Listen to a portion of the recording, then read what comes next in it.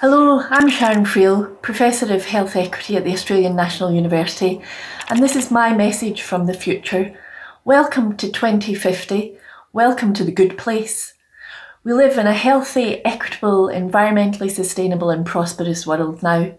Our society is built on principles of well-being and equality, not just about profit at any cost. Back in 2020, things looked very grim.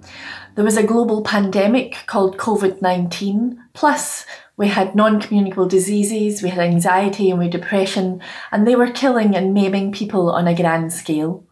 The health system was straining. Plus, it was a very unequal world back then. Wealth was concentrated in the hands of a few. The working and lower middle classes in high income countries like Australia had gained very little from globalisation, and poverty was rife in developing countries. And on top of all of that, the world had warmed by one degree above temperatures in the late 19th century, and we were on course to hit 1.5 degrees warming by 2040. The Earth system was straining. We were seeing more frequent and intense droughts, altered storm patterns, increased glacier melting, and more risk of fires. But we were able to turn all of that around.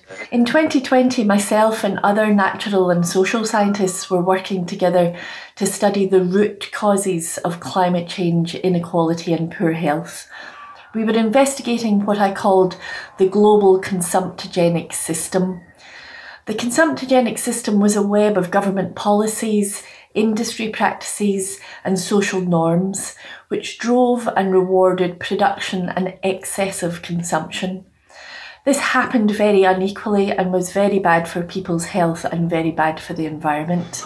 But by understanding this consumptogenic system, we discovered that more equal societies had a lower environmental footprint we identified the benefits to human health from climate change mitigation action through things like a shift to public and active transport, good for health, good for the environment, and also mitigation within food systems that have shorter supply chains and more balanced animal and plant based products.